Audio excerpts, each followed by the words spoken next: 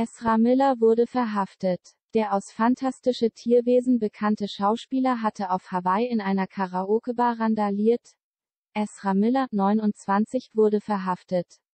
Der aus der Serie The Flash bekannte Schauspieler soll in einer Karaoke-Bar in Honolulu, Hawaii, randaliert haben.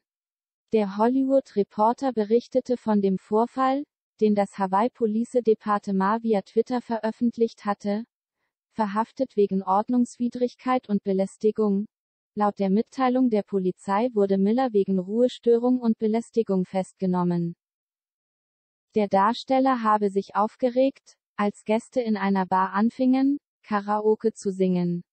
Er habe Obszönitäten geschrien und versucht, einer 23-jährigen Besucherin das Mikrofon aus der Hand zu reißen.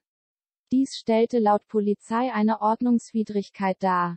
Später griff er einen 32 Jahre alten Mann an, der Darts spielte.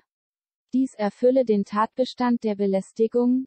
Miller wurde verhaftet, seine Kaution auf 500 Dollar festgelegt.